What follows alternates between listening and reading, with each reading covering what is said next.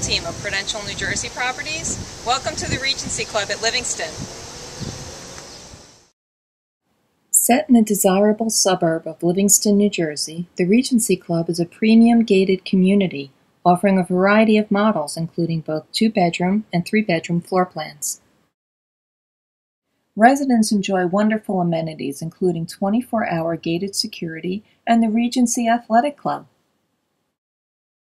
Once inside the Regency Athletic Club, residents enjoy an inviting recreation room with gas fireplace that adjoins a billiards room with game table.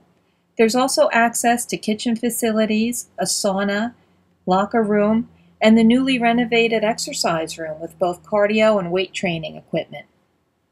Outdoor amenities include two tennis courts. This area is also equipped with a basketball hoop and a wonderful outdoor pool area with lush plantings and a waterfall. If you're interested in living at the Regency Club, opportunity awaits at a wonderful three-bedroom Excelsior unit.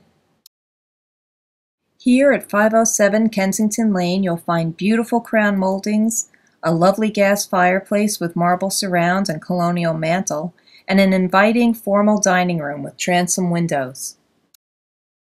A double-door entry leads to the spacious master bedroom with cathedral ceiling, recessed lighting, walk-in closet and dressing area, and a luxurious master bath with Corian counters, jetted tub, and stall shower.